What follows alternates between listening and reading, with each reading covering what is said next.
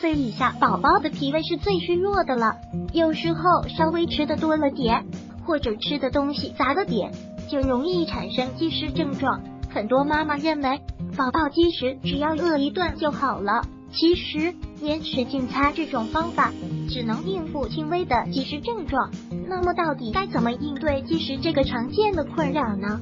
今天小贺就给妈妈们详细讲讲关于宝宝积食的那些事儿。哪些症状告诉我们宝宝可能积食了？常常口渴。六、手心、脚心发热，积食太处多，千万别大意。腹胀、腹泻、便秘，宝宝肠胃功能较弱、过量或不规律的饮食，不仅会加重肠胃的负担，还会破坏肠道菌群的平衡。进而出现腹胀、腹泻、便秘等消化类疾病，发烧、咳嗽、咽喉红肿，积食又被老人们称作湿火。积食引发的内热，如果长久滞留在体内，会使宝宝体温增高。即使宝宝一旦受凉，更容易感冒，并引发呼吸道疾病，出现发烧、咳嗽、咽喉红肿等现象。营养不良，宝宝积食症状出现后。如果不及时消失，会导致肠胃无法正常工作，不能给身体带来足够的营养补给，久而久之，宝宝就会出现消瘦、手足无力、肌肉松软等营养不良的现象。应对宝宝消食，要多方合作，饮食调控很关键。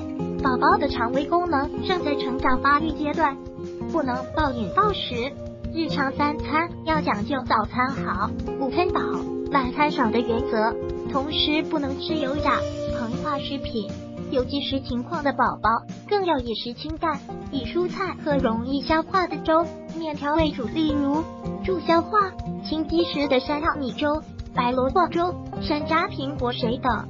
宝宝睡前醒后的三十分钟之内，尽量不要进食，要定时定量规律饮食，常做小儿推拿。